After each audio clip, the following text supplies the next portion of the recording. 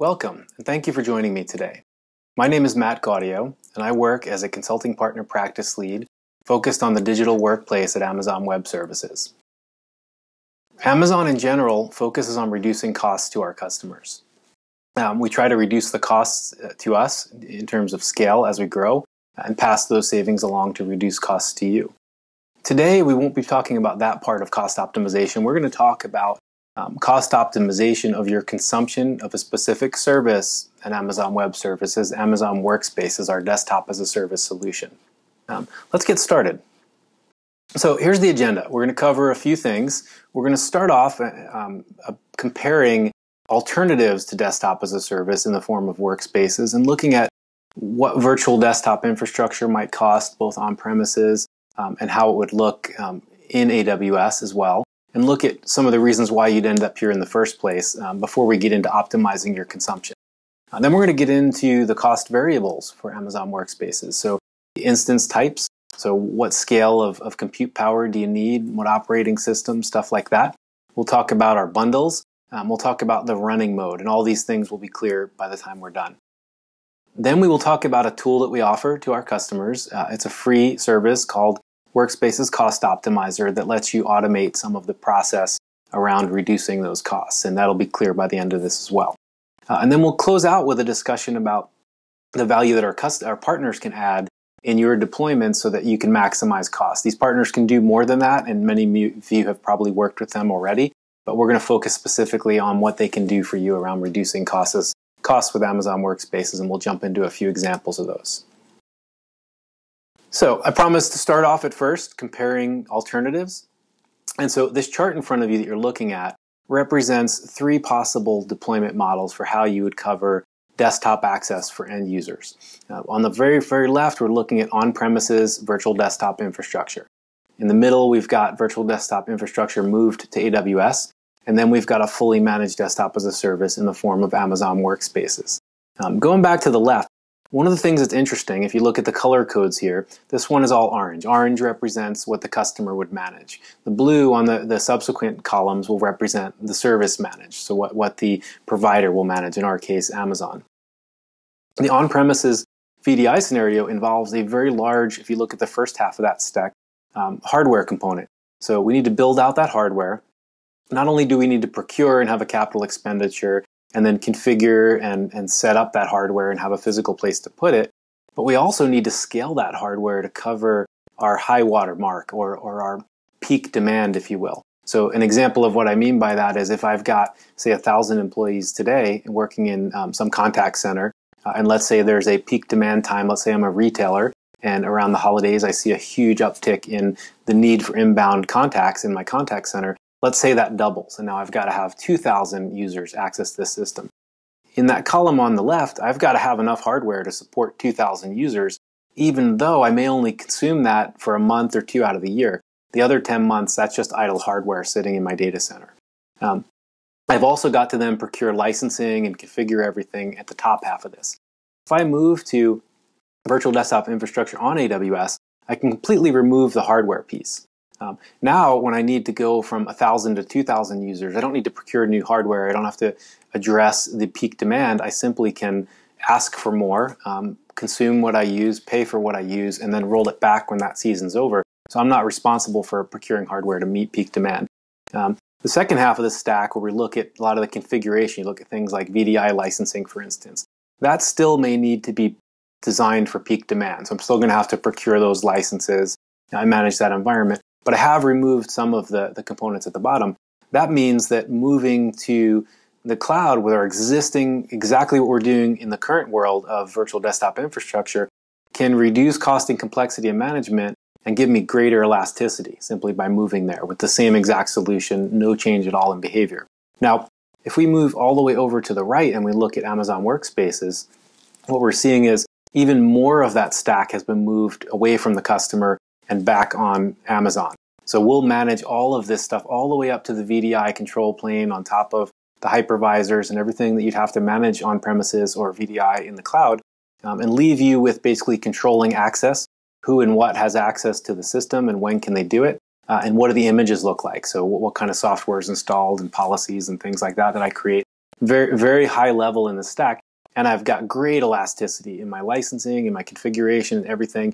In fact, at Amazon, with many tens of thousands of users using workspaces every day, there's just a two person client engineering team that manages all of that.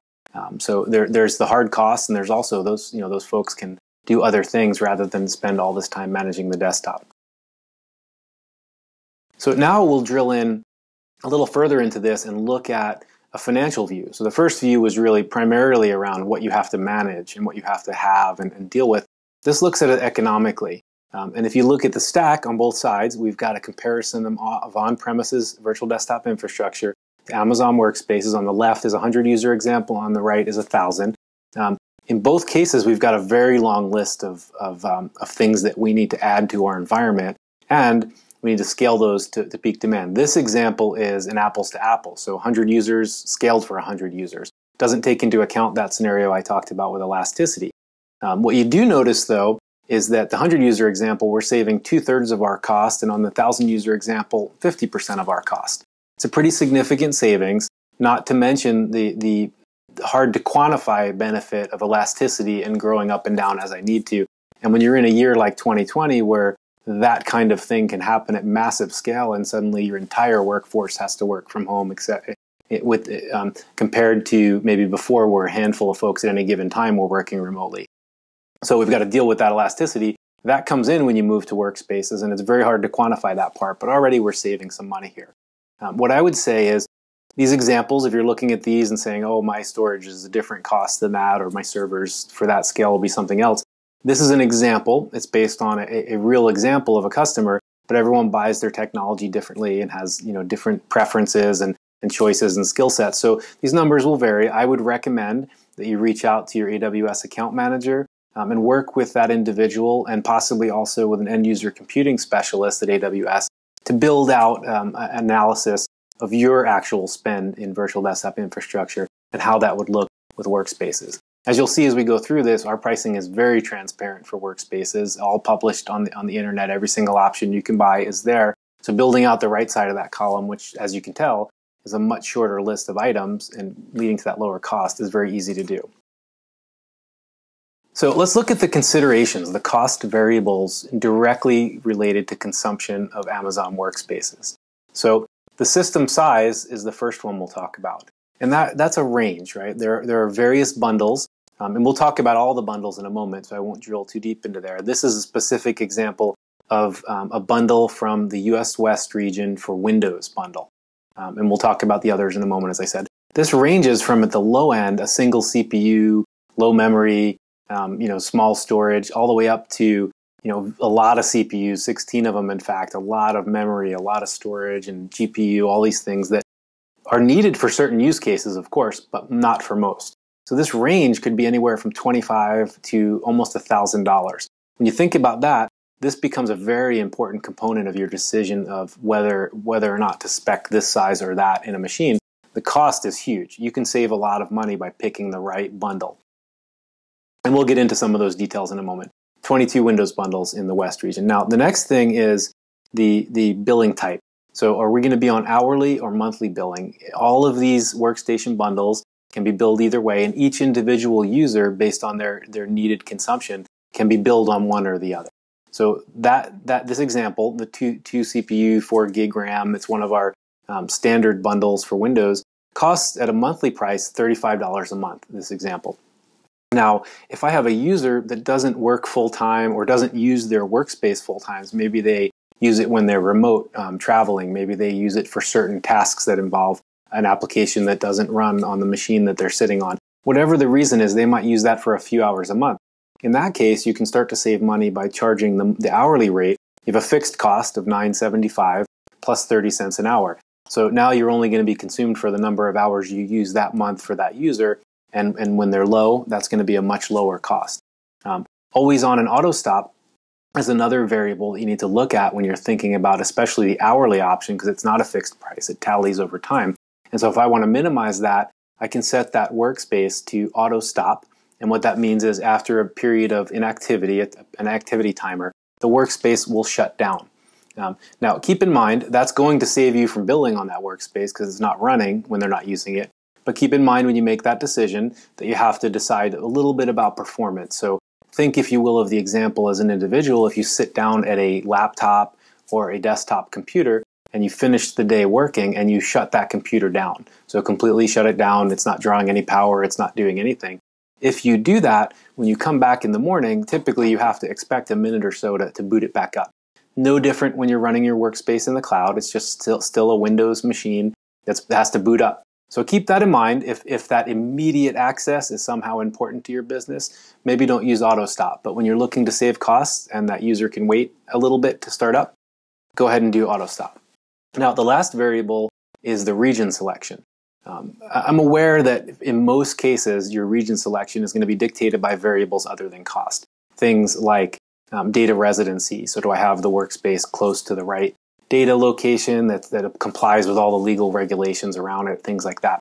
Um, it could also be driven by application proximity. So, if I have, um, let's say, um, my, app- my application SAP is running in the US West region, I, I, would very likely want to put the endpoint application there as well so that they, they're, they're, there's no latency between the front and back end.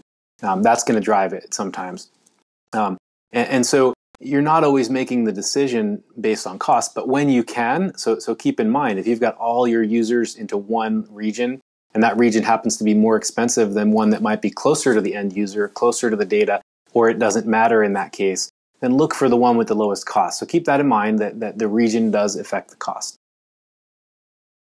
So when we look at workspaces bundle management, um, there are, in just this US West region that I've been using as, as an example, there are 62 different workspaces bundles. You can find them all at the URL at the bottom of this page, so aws.amazon.com slash workspaces slash pricing. Fully published pricing at any given day will be up to date. Um, you can pick the region and then within the region, you can pick the, the type of bundle you want to look at, and you'll see a chart similar to this one. This one's formatted for the PowerPoint slide, but the exact same data is there. So you see the range from that one CPU example to the 16 CPU Graphics Pro workstation at the bottom that we used in a, a range of 25 to 999. Um, there are 22 of those Windows uh, license or bundles.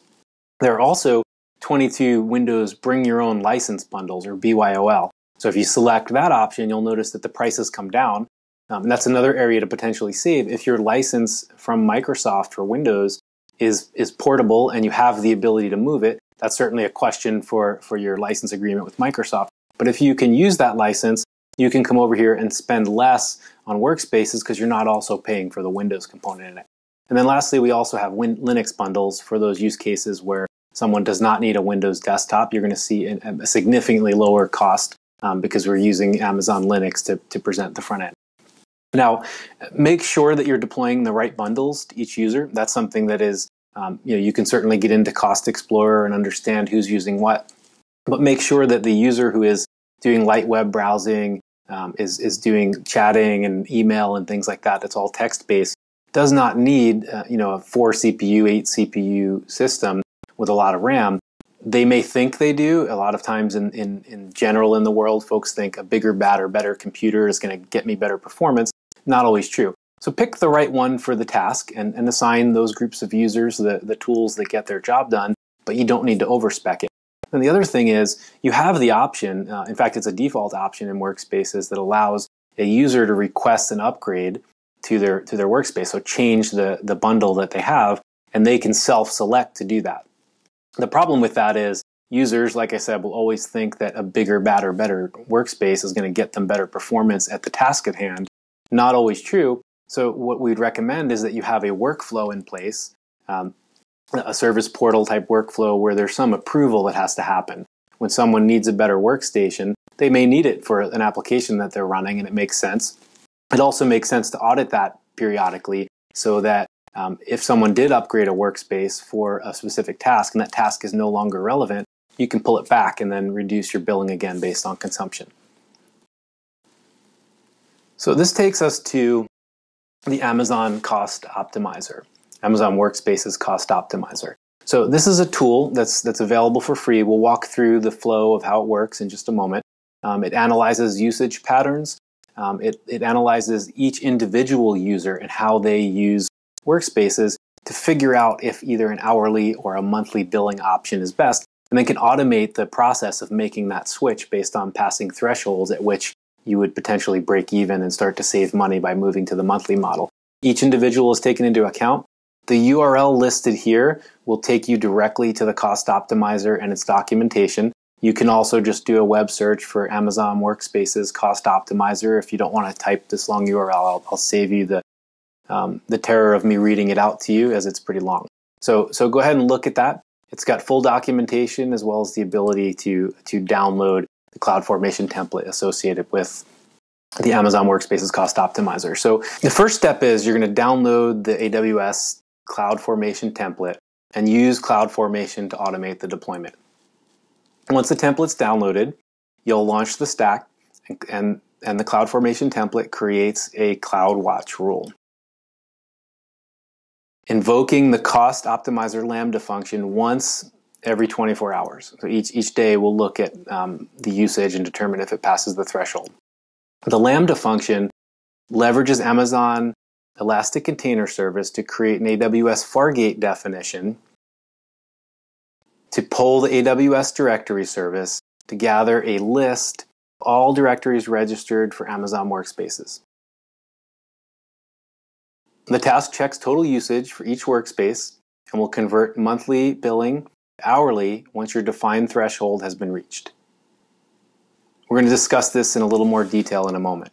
Um, on the right side, you can see the identity and access management roles used by the AWS Lambda function, AWS Fargate container that are, that are used by the um, Amazon Workspaces Cost Optimizer. This will also be available in the documentation if you go to read it. So let's go through um, a brief example. So we'll use that same sample system, the standard workstation that we used earlier for pricing. It's, so we're familiar with it. The pricing on that workstation is $35 per month, again, as a reminder, or $9.75 per month and 30 cents per hour. So you can manually choose these things or, or we can automate it, which is what we'll talk about in a moment. Now, to calculate the break even, quite simple. It's, you know, what are my fixed costs? $35 on the monthly, 975 on the hourly option. What's the difference? Divide that by the per hour cost. Quite simple um, equation there. Nets us 84.2 hours. So if that user of this workstation at its current pricing were to pass 84.2 hours, at that point, hourly billing would start to cost you more. And, and we don't want that. We want to stay at the most cost effective scenario. So, what we will do is configure the cost optimizer to set a threshold limit of 84 hours for that workspace that you're using. So that now every time anyone during the course of a month passes 84 hours of consumption, they move to monthly. So you don't have to start off your month with everyone on monthly so that you can have a predictable cost. You know that's your max cost, but the users that use less can be billed hourly, and you could actually see a lower cost that month if they don't pass the threshold. If this seems like a simple process, I will say it was quite simple. Um, as a non technical user myself, um, I was able to go into um, the AWS console, spin up a few workspaces, and then launch the cost optimizer from the point where I, hit the page and then started reading the documentation and deploy it um, took me about five minutes, and it was op- it was working and showing me the interface and able to to review those workspaces once a day. It's a simple process. It's highly recommended that anyone who's using workspaces do it, um, especially if there's some variability in how your users access the system. So next step is looking at our partner solutions. So the AWS partners that have invested in the digital workplace, um, including uh, Amazon Workspaces, have a depth of depth and breadth of experience that goes back several years. So they've done this many, many times. They can offer a lot of value to your organization in in in deploying and gaining significant value out of workspaces. But today we're gonna we're gonna give some examples of how they can do that specific to cost management. Keep in mind these folks can do a lot more we're going to focus in, this com- in this conversation around cost management. Um, there are consulting partners that have gone through a, a, rigorous validation in the form of our competency for digital workplace, and there are also technology offerings that can add value potentially to automate more tasks in the cost management perspective. Uh, and again, in that case, as well as the consultants, there are many other things they can do. So it's not limited just to cost management. So here we've got a list of our consulting partners that have gone through that process of validation through competency. You can find them all on our partner um, finder, which is detailed here, partners.amazonaws.com.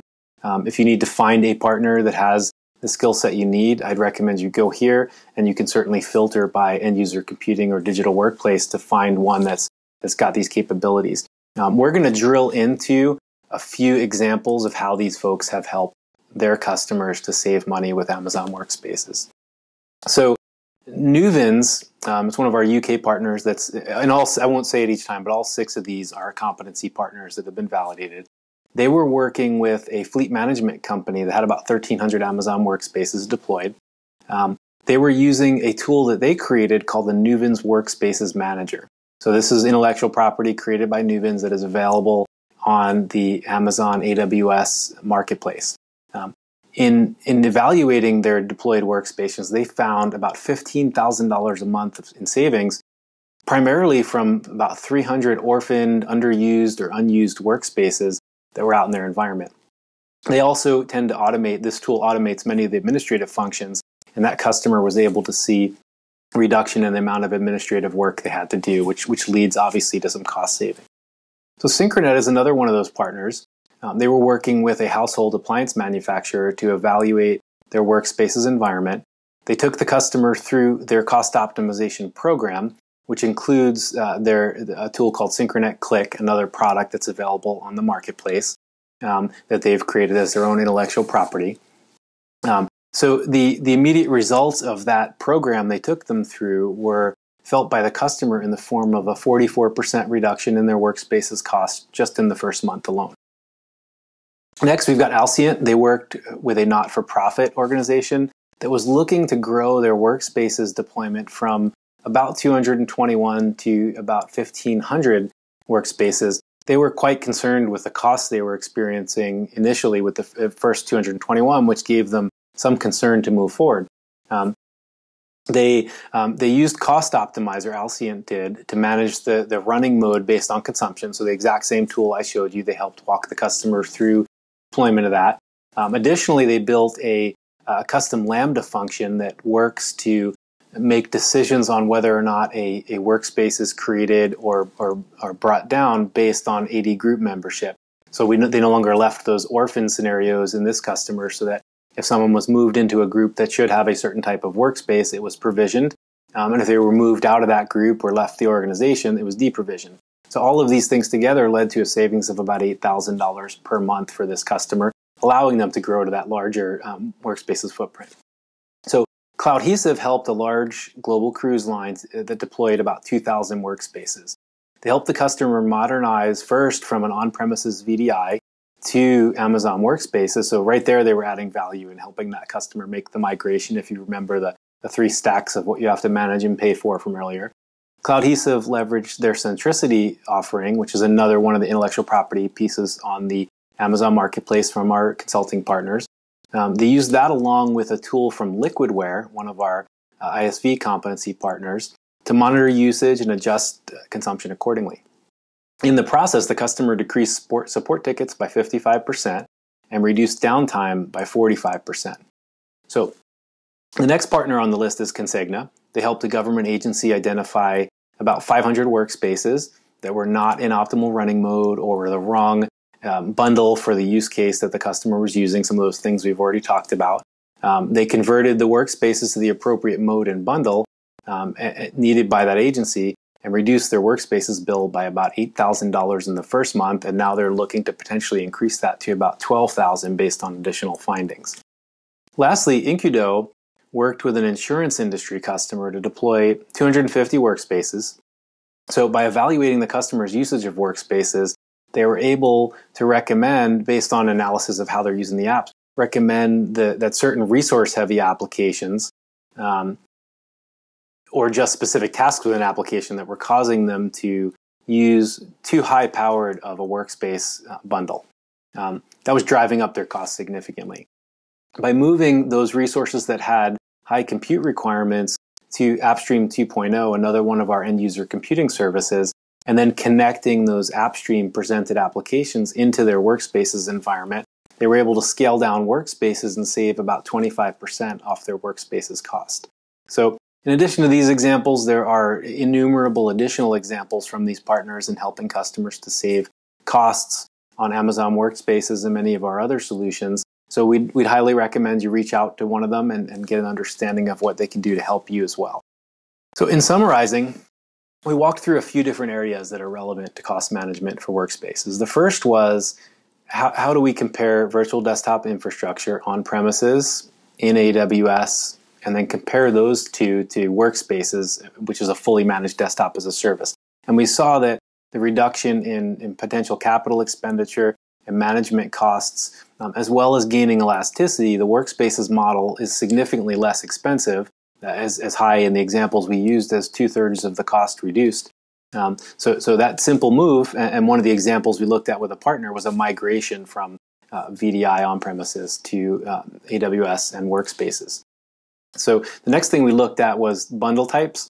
So there's a huge range of bundles. In the one region we looked at today, there were 62 different bundles, each one with its own uh, re- requisite pricing. So understanding the use case of each one of those users and each of those groups of users and optimizing the right workspace bundle for that user population is an important consideration when you, when you try to figure out how to minimize costs. Uh, the next thing we looked at was the running mode and the billing type. So we can we can have an auto stop or an always running workstation. Um, by auto stopping after a period of inactivity, we can stop billing on an hourly workspace.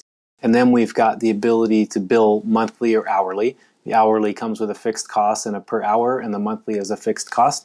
Um, using the cost optimizer, we learned can help you automatically migrate from hourly to monthly whenever that threshold is passed by each individual. So you're maximizing the use of the solution.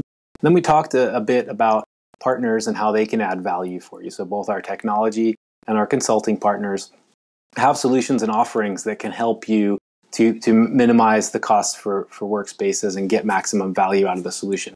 You can find those solutions at the two URLs we have here.